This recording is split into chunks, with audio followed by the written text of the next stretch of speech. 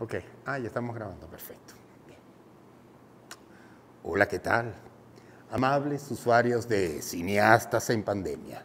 Mi nombre es Juan Lux y realizo videos didácticos como este, sin fines de lucro, porque vamos a estar claros, esto no es un negocio, sino una vocación.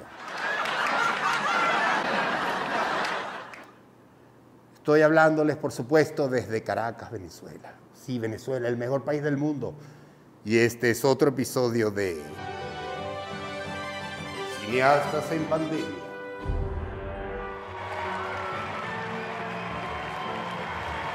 Ah, ok, comprendo. Ah, que es mucha introducción. Bueno, me dicen que vaya al grano y es que el tema de hoy es interesantísimo. Nada más y nada menos que vamos a hablarles de la tríada de exposición, que como ustedes ya probablemente conocen, es la acción de someter una placa o película fotográfica y hoy en día en la fotografía o cinematografía digital se trata de un sensor de imagen, que es un elemento que detecta y captura la información que compone esa imagen. Estos sensores de imagen son utilizados en diversos dispositivos tales como cámaras digitales, equipos médicos, y equipos de visión nocturna y por supuesto en su celular. No, eh, esa ya la usamos, ¿no?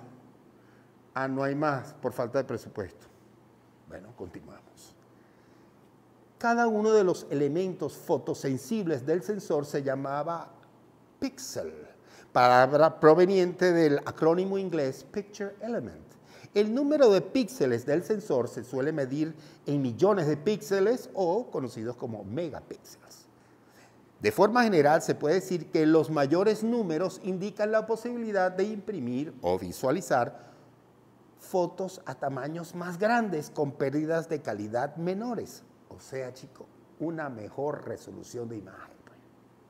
La forma del sensor suele ser rectangular, utilizando principalmente dos formatos, tres medios y cuatro tercios, dado que la forma natural de visión del ser humano se acerca más al tres medios que al cuatro tercios, que es el típico monitor de ese antiguo de la computadora. Bueno, las grandes marcas fabrican hoy los sensores en el formato tres medios, cuya proporción o relación de aspecto es 1, 5 a 1. En cuanto a la tecnología de los sensores, los más utilizados son el sensor CCD, que es un dispositivo de carga acoplada conocido en inglés como Charge Coupled Device, y era el más extendido tanto en fotografía como en video hasta el comienzo del siglo XXI. Desde la década de los años 2000, el sensor CMOS es hoy el día el más comercial, quizás porque tiene un menor consumo de energía y es menor su costo de fabricación. Si quieren más saber sobre el sensor Bayer, que no tiene nada que ver con la aspirina, tengo un enlace apropiado para los más nerds de mis suscriptores. Pero yo había mencionado la tríada y es que tenemos que hablar de la tríada. Y por tríada nos referimos a tres factores que determinan una deseada exposición fotográfica. Entonces, la famosa tríada no es más que los tres ajustes básicos necesarios para conseguir que la luz sea perfecta de acuerdo a nuestras necesidades o preferencias particulares. Y ellas son apertura, velocidad de obturación e ISO. Y tenemos que aprender a experimentar con ellos, no solo para que, bueno, yo muestre con una dirección de fotografía que tener una exposición correcta es suficiente, no. Queremos nosotros contar una historia y es por eso que debemos saberla manejar. Necesitamos quizás que el fondo salga desenfocado. Bueno, ¿cómo se hará eso? Eh, necesitamos que el movimiento se vea así como congelado o borroso. ¿Cómo hago eso? Ah, o quizás necesito eh, grabar o filmar con muy poca luz. ¿Quién me la va a dar? Pero vamos uno por uno. Primero, apertura. El primer ajuste principal será la apertura. Podemos imaginar que nuestra cámara es como un ojo. La apertura o diafragma sería la pupila o el iris, como también se conoce en el argot cinematográfico. Cuanto más se dilatan las pupilas, más luz entra en el ojo, o en este caso el objetivo, y por lo tanto son captadas por el sensor. Así que la apertura será cuando se abre o se cierra el diafragma del objetivo para obtener una fotografía en particular. ¿Y cuáles son los superpoderes de la apertura? Para comenzar tengo que admitir que esta palabrita de superpoderes la tomé prestada de Nuki Dana en la página que les reseño aquí abajo. Nuki Dana Photography, que me habla sobre la tríada de exposición y bueno, porque pedir prestado no es lo mismo que robar, siempre que le des crédito. Así que el mayor superpoder de la apertura, y es uno muy importante, será el decidir qué tipo de profundidad de campo deseamos. Son conocimientos básicos de fotografía, lo sé, pero repasemos. Si queremos que el fondo esté borroso o tenga poca profundidad de campo, el modo de conseguirlo es usando una gran apertura o diafragma. Recordemos que el diafragma está más abierto mientras el número de parada F sea menor. Ahora bien, si queremos una gran profundidad de campo, que todo, casi todo se vea nítido, tipo el ciudadano Kane, bueno, necesitamos un diafragma más cerrado o de mayor número, como un F11, un F18 o un F22. Ustedes me entienden. Segundo ajuste, velocidad de obturación. La velocidad de disparo viene determinada por una cortinilla de láminas que se colocan frente al sensor llamado obturador. ¿Se recuerdan de las presentaciones de las películas de James Bond? Bueno, es algo así. Ahora, imagínense nuevamente que el objetivo es el ojo. Esa cortinilla entonces serían como los párpados. Cuando tus párpados están abiertos, entra luz en tu ojo y tu cerebro registra lo que estás viendo, ¿no? Bueno, tan pronto parpadeas, la información se registra. El momento de la cámara, esto implica que la velocidad de disparo permite entrar la luz hasta impresionar el sensor y grabar esa imagen durante un periodo de tiempo. Normalmente son fracciones de segundos, pero en foto fija pudiesen ser segundos o incluso minutos Claro, eso sí, con la ayuda de un buen trípode. Lo más importante que tenemos que comprender sobre la velocidad de disparo y lo que tenemos que tener en mente cuando trabajamos y componemos nuestra imagen es cómo influye en el movimiento. Cuanto más alto sea el número con el que trabaja el obturador, más luz te entrará en la cámara y quedará registrada en el sensor, lo que significa que el movimiento se registrará como muy enfocada. Por ejemplo, en la mayoría de las tomas de la película Saving Private Ryan, y en España le decían salvar al soldado Ryan, ¿eh?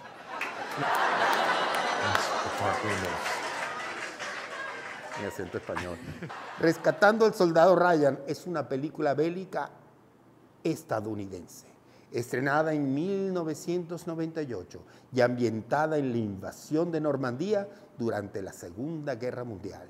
Dirigido por Steven Spielberg, el film destaca por su recreación muy realista de la guerra, especialmente en sus intensos 27 primeros minutos que narran el desembarco y asalto del ejército aliado el 6 de junio de 1944.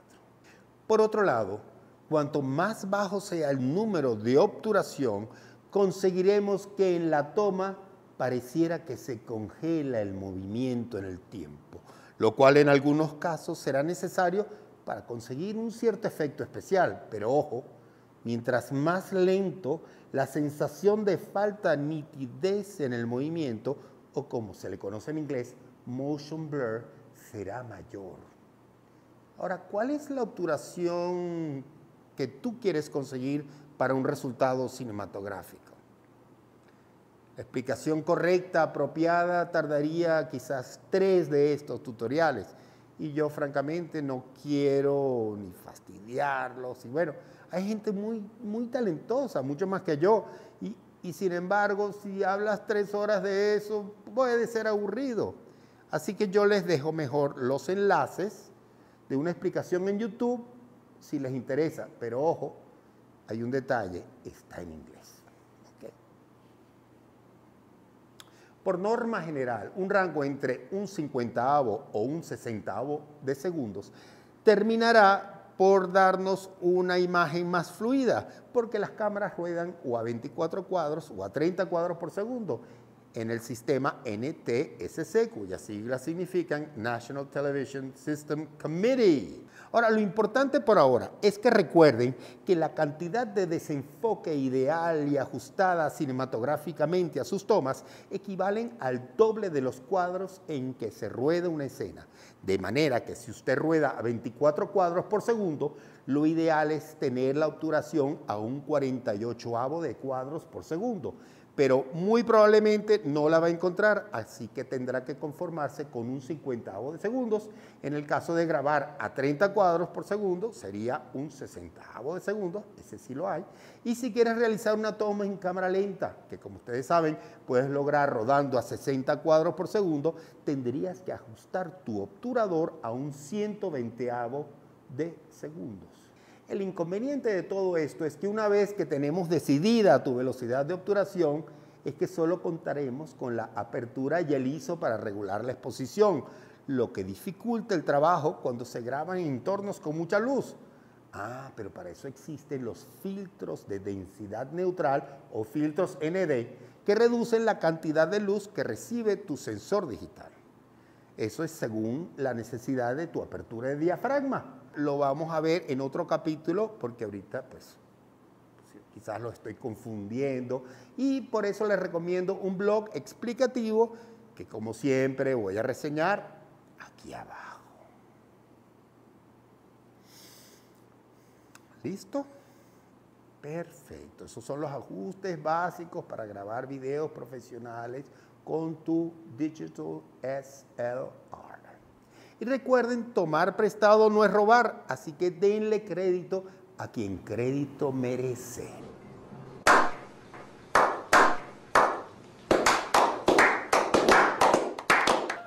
Tercer factor de la tríada, el ISO. ISO viene de la Organización Internacional de Normalización, también llamada Organización Internacional de Estandarización, cuyas siglas en inglés son ISO. Es una organización que fue creada para los estándares internacionales, pero que tiene que ver eso con la fotografía o con la cinematografía. Resulta que en el año 1943 definió un nuevo método para determinar y especificar las velocidades de las películas negativas en blanco y negro para la época. Eso se llamaba ASA Originalmente los valores de ASA eran frecuentemente referidos como números de velocidad estándar americanos o números de posición ASA. La escala ASA es lineal, es decir, una película con una velocidad de 200 ASA es dos veces más rápida que una película con ASA 100 y, así sucesivamente. Mientras tanto, en Alemania no usaban el ASA, utilizaban el DIN y habían muchas películas alemanas realizadas en ese tiempo, como por ejemplo la famosa ACFA. Bueno, ellos usaban el sistema DIN, oficialmente forma parte del conjunto de normas desarrolladas en Alemania, con esa designación genérica. Fue publicada en enero de 1934, antes que los americanos, y su uso se generalizó rápidamente hasta convertirse en un método estandarizado de sensitometría. Fue ideado por la Deutsche normalen Ausschuss für Fototechnik a partir de una propuesta efectuada al Comité de Sensitometría de la Deutsche Gesellschaft für Fotografische Forschung. Al final pude practicar mi alemán. ¿eh? Lo cierto es que uno de esos países más avanzados en la fabricación de películas fue Alemania. Y las películas ACFA eran comercializadas internacionalmente y ellas, por supuesto, utilizaban la nomenclatura DIN para luego, con el tiempo, tuvo que combinar la nomenclatura ASA con la DIN y eventualmente en la década de los años 80 fueron sustituidos ambos por el sistema de velocidad ISO. Entonces de ahí viene el famoso ISO. Ahora, ¿qué es el ISO? Es básicamente lo que necesitamos para aumentar la luz de un plano cinematográfico cuando disparamos en condiciones donde no hay mucha luz. Y la verdad es que molesta bastante, porque cada vez que aumentas el valor del ISO, automáticamente doblas la cantidad de luz que va a tener la fotografía. Bueno, ¿y qué tiene eso de malo? Me pregunta Linet. Ajá. La parte negativa es que cuanto más alto tengamos el ISO, más grano habrá en la fotografía. Y por grano no me refiero a ese grano analógico, bonito, sensual, setentoso, tipo David Hamilton. ¿Se acuerdan? Ah, no, ¿verdad que ustedes no están? Bueno, yo no me refiero no a eso, sino me refiero a unos artefactos digitales, un ruido que distrae, molesta, fastidia, lo cual en muchas ocasiones puede llegar a arruinar las tomas así las hayas realizado con el mayor cariño del mundo. Lo primero que tenemos que pensar es cómo queremos que sea nuestra toma. ¿Queremos prestar atención a la profundidad de campo? ¿A la velocidad? Imagina que estamos haciendo una serie de planos nocturnos en exteriores. ¿Daremos entonces más importancia a nuestro sujeto? Y por eso quizás queremos tener el fondo borroso entonces usa aperturas de diafragma lo más abiertas posible. Quizás tengas que usar un teleobjetivo, pero por supuesto cuidado con el foco. Es más difícil el foco. En la televisión en vivo, por ejemplo, yo sugiero mayor cantidad de luz para poder cerrar el diafragma y tener más profundidad de campo, que es lo que conoce la gente como la típica imagen de video o de televisión. También tenemos que prestar atención a la velocidad de obturación para que la imagen no tenga demasiado desenfoque o movimiento, como lo llamamos motion blur. Pero ¿qué pasa si tengo ya la apertura que quiero? Porque quiero tener el fondo enfocado y no puedo bajar más la velocidad de obturación porque mi cámara no lo permite. Ajá, ok. Entonces la única alternativa es experimentar con el ISO y solo podemos aumentarlo para compensar. Pero recuerda, ¿cuál es el valor para ti de ruido tolerable? Lo puedes apreciar en el monitor de tu cámara, cuidado. Si vas a querer luego proyectarle una pantalla más grande, te recomiendo llevar un monitor porque te puedes llevar una sorpresita. Ahora, si es para verlo en tu celular, ¿qué importa? Otra cosa que me gustaría saber es si en un futuro cercano eh, quieren que yo les haga un tutorial sobre las diferencias entre una ARRI Alexa LF y una cámara Red Helium 8K. ¿Será que quieren quizás lo más avanzado y sofisticado de la producción cinematográfica? Muchos de ustedes quizás están pensando en montar una mega productora con todos esos equipos, confiados que una vez que se termine esta pandemia, así como por arte de magia, la industria cinematográfica venezolana volverá a producir películas, series y telenovelas tanto mucho más exitosas que antes de que nos alcanzara esta devastadora peste.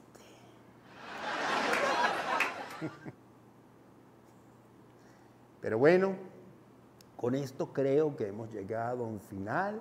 Creo que les expliqué bastante bien algunas cosas. No era mi intención fastidiarlos. Y recuerden que yo no trabajo solo. Hay una gran cantidad de tutoriales por ahí, muy bien producidos, narrados, elocuentes, simpáticos, y gente que sabe y tiene mucha experiencia haciéndolo y capacidades de producción. Ahora, ¿lo harán con el mismo cariño y pasión que lo hacemos nosotros para ustedes? No sé. Cuídense, los quiero mucho. Hasta la próxima. Y sigan mandándome esas maravillosas tomas, porque pronto, muy pronto, vamos a tener nuestra gran recopilación donde ustedes y yo vamos a ensamblar un excelente o terrorífico cadáver exquisito.